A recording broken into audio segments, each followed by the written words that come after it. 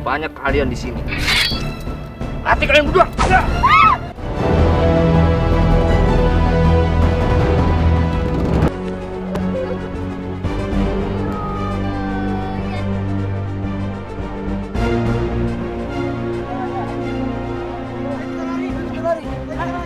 Eh, ada ada apa ini? Itu, itu ada pasukan cokro nanggolo. Selamatkan. Eh, eh,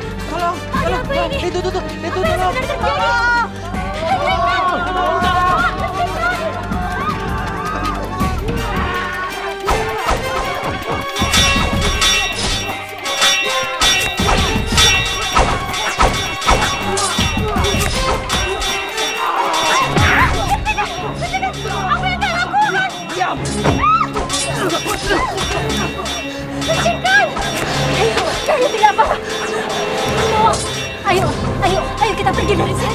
Jangan pergi, Bu. Kita tolong mereka. Tidak. Ayo, ayo. Ayo.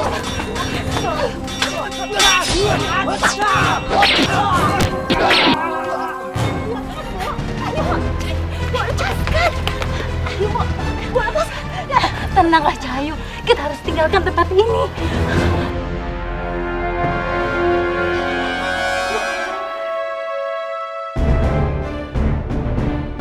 Banyak kalian di sini. Mati kalian berdua. Ya.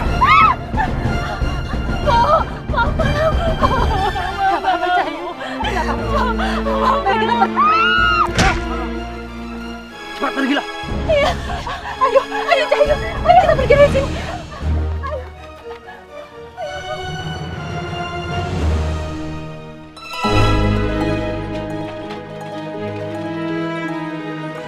Cokro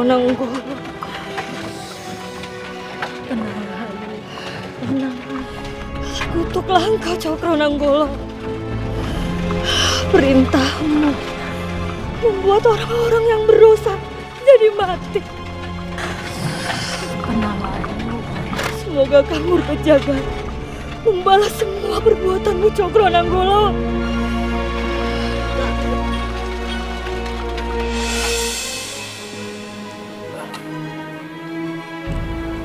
Ki Pusena, Ki Jakataru, Ada apa ke sana? Kenapa kamu terlihat khawatir? Waringin Pitu Ki, Waringin Pitu. Ada apa dengan desa Waringin Pitu? Tenangkanlah dirimu. Coba kamu jelaskan dengan pelan-pelan. Waringin Pitu diserang. Dan sekarang mulai dikuasai kembali oleh pihak Majapahit. Katakan padaku, siapa yang memimpin penyerangan itu? Sang pemerintah memang tidak turun langsung. Tapi sudah dapat dipastikan itu perintah langsung dari Tamanggung Cokro Nanggolo. Cokro Nanggolo. Cokro Nanggolo. Aku mengenalnya Bobo Mertua. Siapa dia? Dia adalah tumenggung dari ketumenggungan Cokro Nanggalan. Ketumenggungan yang terkenal sedari dulu. Kuat di bidang militer. Di saat aku masih muda dan menjadi raden. Dia masih sangat kecil. Tapi aku tidak menyangka. Akhirnya dia turun tangan juga Bobo Mertua. Apa dia ada hubungannya dengan Katumenggungan Maheswara? Ya, dia masih saudara dengan Tumenggung Maheswara. Kalau begitu, alasannya adalah pembalasan dendam. Bobo mertua. Tapi menurutku tidak. Cokro Nanggalan tidak semudah itu membantu pihak lain. Cokro Nanggalan juga tidak mudah diperintah. Kecuali dari Raja Majapahit itu sendiri. Apa pun alasannya, Kita tidak boleh membiarkan ini terjadi. Perjuangan kita selama belasan tahun. Jangan menjadi hal yang sia-sia belaka. Iya Bopo benar. Tapi Bopo, kita harus bersabar dulu. Kita harus memiliki siasat yang sangat banyak. Karena orang yang kita lawan bukanlah orang biasa, Bopo.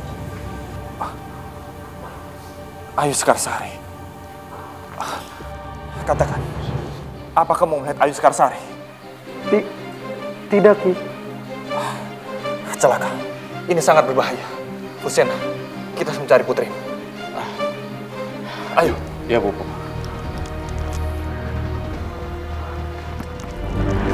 Ya ampun, apa yang terjadi? Ada apa dengan kalian, nak? Tidak apa-apa, Ki. Hanya luka biasa. Kalian berdua, bawa dia ke dalam dan rawat dengan baik. Cokro Nanggolo, Romo. Cokro Nanggolo. Renanggolo. Kurang ajar. Ya, nak. Kami sudah tahu. Lalu kenapa Romo sama kakek masih di sini? Bukankah kalian seorang pahlawan? Nak, tenangkanlah dirimu. Dalam keadaan genting seperti ini, kita tidak boleh tergesa-gesa. Lagi pula, banyak hal yang Romo harus pikirkan. Tidak bisa tergesa-gesa, Romo. Katakan itu. Katakan itu pada warga biasa yang mati begitu saja, Romo. Apa mereka harus bersabar dan tidak tergesa-gesa melihat seorang pahlawan yang bersabar dan tidak tergesa-gesa? Ayo! Ayo! Sudah, Fusena. Biarkan saja. Dia butuh waktu untuk sendiri. Yang terpenting sekarang, dia sudah selamat dan baik-baik saja. Tapi Bopo mertua,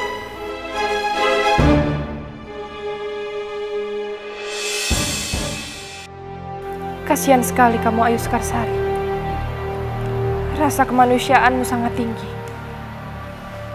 Aku bisa merasakan ketulusan dari hatimu. Tetapi dirimu masih gegabah. Kamu masih sangat ceroboh. Kamu belum tahu bagaimana orang dewasa pertimbangkannya.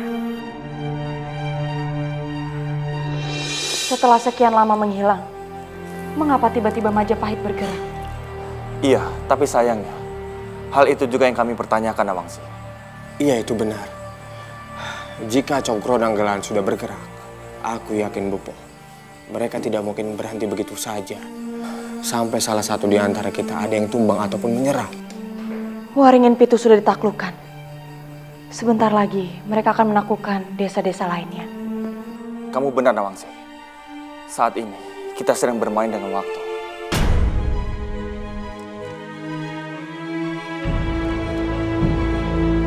Kanjeng Tumenggung. Bagaimana dengan tugasmu? Ah, tentu saja tugas kami berhasil Kanjeng Tumenggung. Bagus. Kerja yang sangat bagus. Terima kasih Kanjeng Tumenggung. Prajurit-prajurit juga sudah kembali berpatroli di desa Waringin Pitu.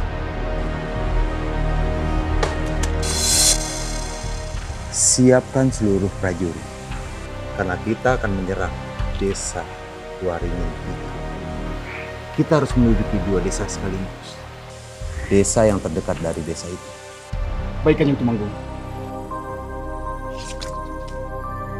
Satu lagi, bawa masuk semua prajurit. Karena saya telah menyiapkan hadiah untuk kalian semua. Baik Kanjeng Tumenggung. Terima kasih atas kebaikannya.